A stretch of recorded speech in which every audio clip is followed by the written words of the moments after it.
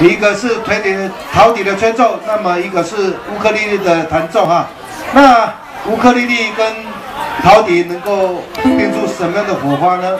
呃，大家能够拭目以待，来好好的欣赏张立照老师所带来的这个陶笛还有乌克丽丽的合奏。掌声来欢迎两位，谢谢。好，我们第一首节目啊，五月天的曲子《伤心的人别听慢歌》，如果你会的话，一起好来欢唱，谢谢。那这首就快节奏了，好，掌声来欢迎，谢谢。